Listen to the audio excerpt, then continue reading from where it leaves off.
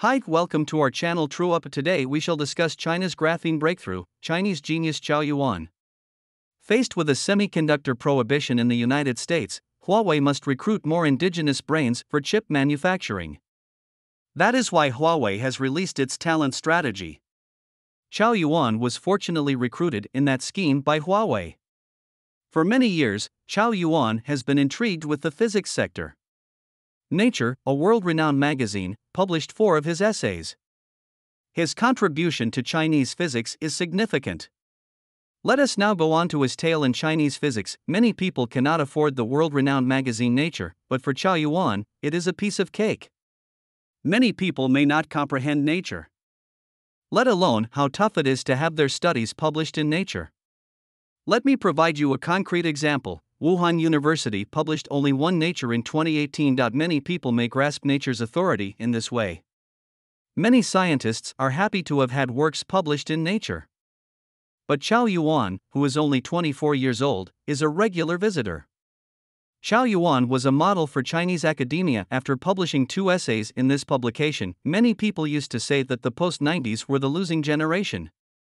But it now appears that the post 90s have become China's backbone. During the outbreak, many post 90s volunteers offered to help Wuhan, and medical personnel even returned to Wuhan by bicycle. The youngest, like the Sichuan forest fireman, was just 23 years old when he gave his life to ensure the protection of people's property. And Cao Yuan is a role model for the post 90s generation, utilizing his skills to support a big country's backbone. Cao Yuan has been in high school since he was a youngster. And he only read in junior high for one year he would choose anything he enjoys after learning. He spent an afternoon in Huaqiangbei, Shenzhen, studying resistance. Furthermore, he has demonstrated a passion and interest in physics since he was a youngster. He not only established a laboratory at school, but he also established a laboratory at home. Cao Yuan began preparing experimental materials once the facility was formed. However, the price of silver nitrate was too exorbitant, forcing Cao Yuan to halt. However, for the physical dream in his head, he sought a way out and refused to stop there. Cao Yuan finally turned to gaze at my mother's jewelry. Cao Yuan immersed his mother's bracelet in nitric acid, resulting in silver nitrate through displacement reaction. The silver nitrate was acquired, and Cao Yuan earned his mother's wrath as a result. Cao Yuan has also been other people's child since he was a child. This plague impacts not just his primary school friends, but also his university, master's, and PhD classmates. Xiao Yuankut is a junior at the University of Science and Technology of China, but his classmates are all smart teens from all across China, talented individuals who are not swayed by anybody, but Cao Yuan is dubbed a monster by these geniuses. When the reporter interviewed Cao Yuan, he stated, The only difference between me and other people is that I bypassed the dull middle school stuff. If the phrase Versailles literature existed at the time, Cao Yuan would have been at the top of the list. Cao Yuan, the beast, is certainly admirable.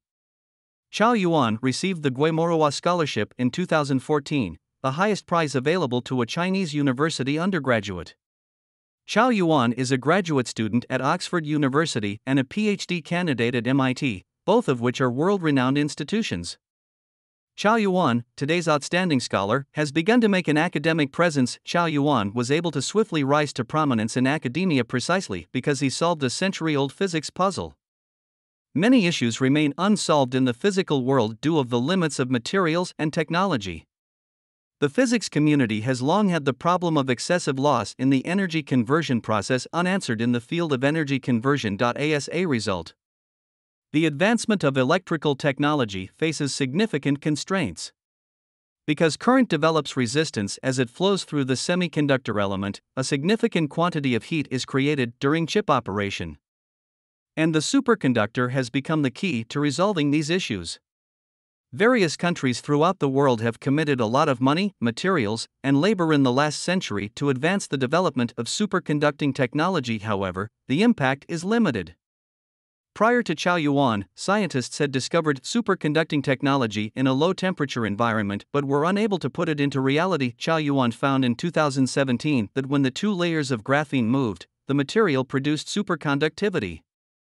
This significant breakthrough enabled room temperature superconductivity. Cao Yuan's abrupt appearance is akin to a firecracker blooming in the physical world.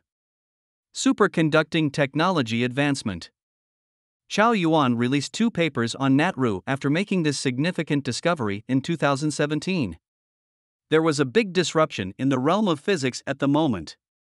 Major Chinese media outlets rushed to report on Cao Yuan's incident at the time, and one story was published. In one fell sweep, Cao Yuan addressed the dilemma that had tormented the globe for 107 years. Nature's assessment of Cao Yuan is as follows he is, in essence, a craftsman. In his leisure time, he photographs the night sky with his own camera and binoculars. Parts of these equipment are generally spread about his workplace. Cao Yuan really solved a century old physics issue. When Nature received an article on how to create superconductivity in graphene from Cao Yuan's team at the time, it was published without typesetting. Cao Yuan authored two additional works about nature at the age of 24. What intellectuals admire is, in fact, incredibly basic for Cao Yuan. His supervisor and he both signed the first piece of work. Cao Yuan and his colleagues, for example, extended the properties of magic angles to other two dimensional study systems by changing the torsion angle in this work. This study's findings have aided in the investigation of the linked morphology of twist angle and electric field regulation in multi flat band twisted superlattices that he and his crew are signed on the second piece of paper. This article's research object has been updated to hexagonal boron nitride, HBN, packed MATBG. A tomographic picture of the Landau energy level in the quantum Hall state was obtained using a nanotip scanning superconducting quantum interference device, SQUID on tip and a local change map was generated. Cao Yuan authored four publications in the world's most prestigious scientific journals at a young age. That's fantastic, and he represents a new generation of Chinese backbone. Cao Yuan, my name is Cao Yuan, and I am Chinese. I suppose everyone must have learnt a book called I Am a Chinese when I was younger, and now that I think about it, I still have a feeling of national identification, and Cao Yuan truly executed I Am a Chinese. He had two publications published in Nature in a row. He was only 24 years old when he solved the century old physics puzzle. Cao Yuan is a sought after person in many nations because to his superb Cao Yuan. Many countries have extended various olive branches to Cao Yuan.